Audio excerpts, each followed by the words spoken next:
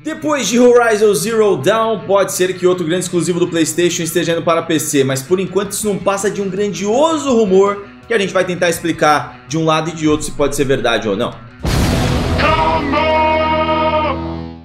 O Combo Infinito também faz lives todos os dias no Face, curta nossa página, inscreva-se aqui no canal e vire um membro ou apoiador para ter acesso a conteúdos exclusivos e para não perder nenhum vídeo, habilite a notificação.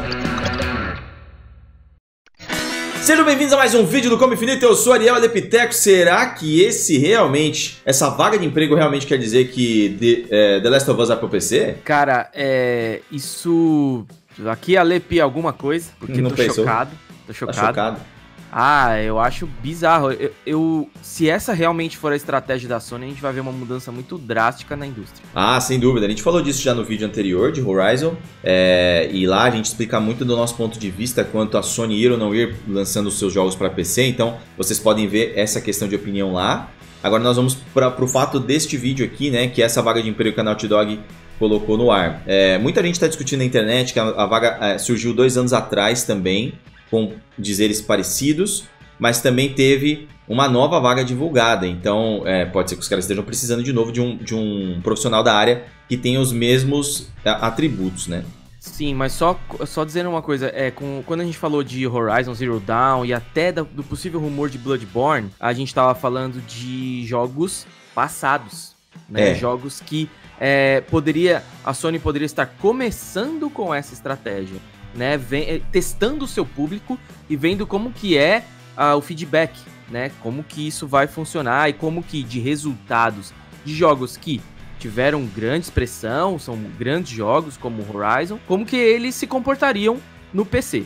Agora, Seria aproveitar, aproveitar uma renda que você já não teria mesmo, né? exato, você não vai dividir mais o- É. a fatia do bolo. Agora, a gente tá vendo isso o, pro, pra The Last of Us 2. É Uhum. isso que tá dizendo a vaga. E aí as coisas mudam de figura, porque The Last of Us 2 tá aí batendo na sua porta. Exato. Eu, eu particularmente, é, não acredito que esse, essa vaga seja para uma provável versão do jogo no PC. E eu vou explicar isso, ao meu ponto de vista, durante o vídeo. E não me venham com essa história de passando pano. Isso daí é a coisa mais caída que existe no mundo. Isso daí é questão de opinião. Porque muitas vezes a gente chega aqui e também defende o Xbox e vocês não vêm falar que a gente está passando pano pro Xbox. Aqui no Combo Infinito a nossa opinião é forte. A gente dá a nossa, o nosso ponto de vista conforme os assuntos. Se surgir alguma coisa que possa ser mais crível do, do The Last of Us no PC, é óbvio que a gente vai falar que vai ser pro PC também, né? Claro, claro, sem dúvida. Vocês estão vendo na tela agora a vaga de emprego que a Naughty Dog colocou, né? Eles dizem que é justamente para o The Last of Us 2, está bem aqui, né? Não tem como errar. E aqui eles falam, né? Diversas técnicas de renderização, é, mas o que chama a atenção mesmo é quando eles falam sobre o NVIDIA CUDA, que é uma plataforma da NVIDIA de computação paralela, que daqui a pouco eu dou uma explicadinha melhor. DirectX 12, que também tem relação com jogos para PC, e também a experiência do programador em consoles e PC. É aí onde o pessoal está pegando bastante é, a ideia de que o jogo pode chegar aí para PC por conta dessas informações. Através disso daí, Lê, você teria como tirar uma conclusão ou uma ideia ou você acha que ainda não? Olha, é, são várias coisas. Eu acho que não é impossível pensar, por tudo isso que, que tá dito aí, né? Por toda essa vaga bem especificada, não é impossível você pensar que essa possibilidade existe. Porém, é estranho. Não tem, a gente não viu isso acontecer ainda. Isso não teve. Até agora, até Horizon é rumor. Então, É. tipo, tem nada É, oficial. então, até que algum É jogo realmente é, chegue, né? Qualquer outro que venha dentro de algum rumor vai ser, vai ser duvidoso. É Mas que é uma mim- estratégia que é- ela muda muito o pensamento O da empresa. É isso fazendo, que. né? Porque às vezes você fala assim: olha, pode surgir um jogo novo assim, assim, assado. Ou pode surgir a sequência de um jogo assim, assim, assado. É natural que isso aconteça. Sim. Agora, quando você vê uma quebra dessa, você já fica com o pé atrás. Sim, eu, eu acho que assim, o histórico realmente conta bastante. Mas principalmente, nós estamos vendo a chegada de uma nova geração, onde os dois consoles vão utilizar é, o Ray Tracing. E o Ray Tracing hoje, quem tem a melhor tecnologia para se trabalhar com Ray Tracing, não somente por conta de hardware, é a NVIDIA. E ainda não está confirmado, mas tudo indica que os consoles vão ter alguma coisa relacionada à Nvidia. E já que eles teriam, isso agora nós estamos levando para esse cenário onde os consoles têm alguma coisa relacionada à Nvidia, seja processa, processadores específicos para ray tracing que será em tempo real já confirmado no, no, no já confirmado não, já confirmado sim, já confirmado no PlayStation 5 e que também deve estar no Xbox Series X. Levando por esse lado, hoje quem tem a tecnologia para se trabalhar em Ray Tracing em tempo real com processadores específicos para isso é a NVIDIA. Então a sua tecnologia, a sua programação, ela tem que estar de acordo com aquilo que a NVIDIA construiu até agora. E há dois anos eles construíram a CUDA, que é uma tecnologia de computação paralela, onde que pega algumas programações que são muito complexas e divide elas em diversas outras, em pequenos trechos de código que vão sendo interpretados separadamente. Isso daí, se tiver dentro dos consoles, o cara que vai estar tá programando para ele precisa entender. Por isso que talvez a, a vaga esteja pedindo por alguém que entenda dessa tecnologia da NVIDIA. E se a gente imaginar que o Ray Tracing será da NVIDIA, é mais do que natural que o cara tenha, o, o programador, o profissional, tenha experiência também em PC. Afinal, se o cara faz para PC, para trabalhar com console, só tem que dar uma adaptada. Então eu vejo que tudo que está dizendo ali dentro da, da, da, vaga, óbvio, levanta suspeita. A gente pode imaginar que sim, que The Last of Us, a Sony pode estar tá pensando em uma versão para PC mas eu imagino que seja simplesmente para uma conversão para o PlayStation 5, onde eles vão trabalhar com Ray Tracing.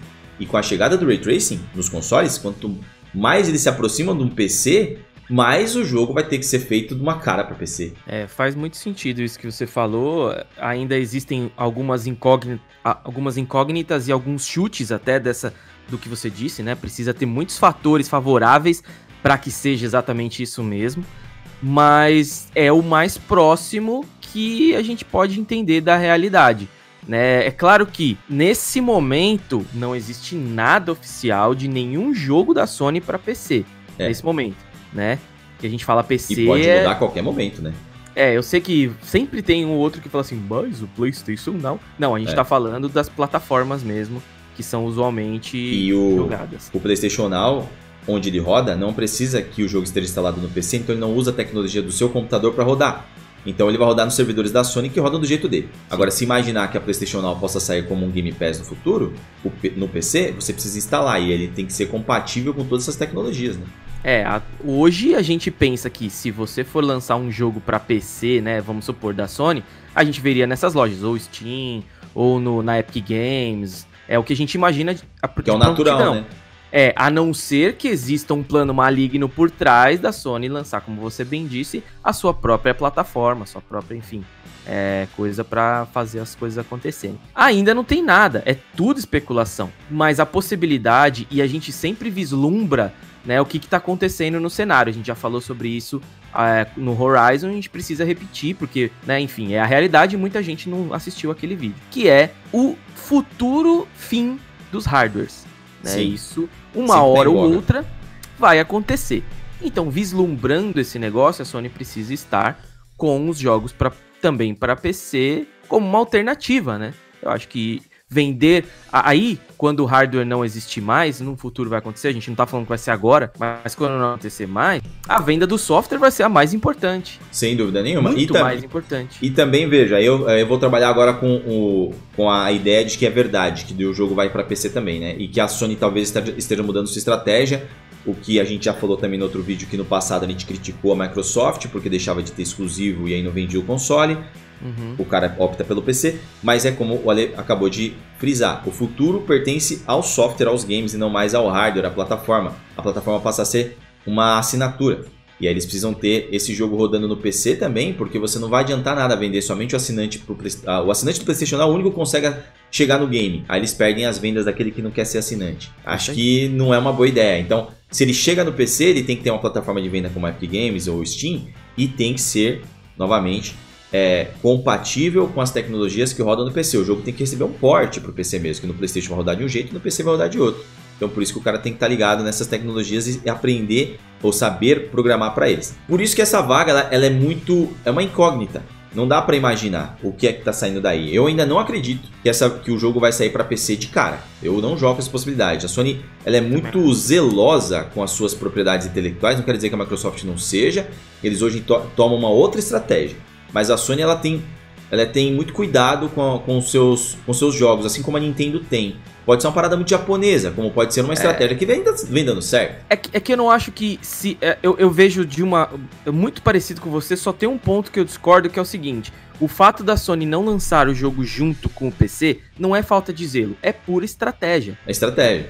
É justamente pra fazer com que o cara se sinta recompensado por ter a plataforma deles. Pode né? Ser. Tipo, ó, só você vai jogar. Então é quase que. É quase não. É a, a verdadeira exclusividade. E depois você abocanha o que falta dos caras que não têm a sua plataforma. Ou optam assim, por não né? tê-la, né? Ou optam por não tê-la. É claro que quando a gente pensa em Horizon e Bloodborne, né, que são jogos mais antigos, os hoje não existe, não exista alguém que ou pode existir, mas é bem menor o número que compre algum console por causa dos jogos que foram lançados lá no passado. Você pode inclusive fazer uma lista de jogos bons e tal, mas a febre ela é no momento, né? Então você vai ter novos jogos para comprar novos consoles. Aí você lançando para o PC, o cara que não tem um PlayStation 4 é aquele que vai adquirir, acredito eu. Não sei se você Também pode acho. pensar diferente. Então, assim sendo, você vai criando aí uma comunidade. Sim, sim. Então, é o que a Microsoft vem fazendo. Eu, é, de novo, ser crítico com algo hoje e daqui dois anos você mudar de opinião porque você faz uma leitura de mercado e entende que aquilo foi bom, é muito diferente. Você ser cabeça fechada e achar que aquilo tem que ser assim sempre é que é errado. Então é. a gente vê que o, o, o futuro leva para as assinaturas, para os serviços e muito provavelmente para uma PlayStation Now a Game Pass. E aí é onde o The Last of Us chega de uma forma onde talvez até quem é muito chita da Sony possa aceitar melhor. Mas quem tá com mente aberta, vê que o mercado pode ser bom até mesmo para você, né? Tipo, hoje eu penso o seguinte: se a Sony chega e falar para mim amanhã que os jogos do PlayStation 5 também vão sair para PC, seja via PlayStation 9, via qualquer coisa, tendo um, um, um, PC bom, eu vou priorizar o PC. Porque eu sei que ele vai sempre rodar melhor que no console, não importa quando. Então é questão de gosto, de oportunidade, talvez o cara não tenha um PC forte, daí ele pensa, pô, pra mim é melhor console. É, é, é, questão de várias coisas, cara, que é muito errado você chegar e falar, não, o jeito que é certo é certo e tem que ser certo porque é certo. Não é assim, cara, a vida não é assim. É, o mercado prova isso, provou durante anos empresas que bombaram, depois faliram. E isso acontece, você precisa seguir algumas. Se reinventar.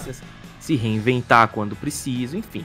Mas agora a gente quer saber de vocês. O que, vocês acham? Acham possível isso? Né? Acham tudo válido? Deixa o recado de vocês. Sempre na paz dos nossos queridos apoiadores Cleiton Ebuchi e Tata Batista. Vamos ver quantos vão falar que a gente tá passando pano aí porque ah, virou moda. Um abraço, até o próximo vídeo do Confinito. Valeu.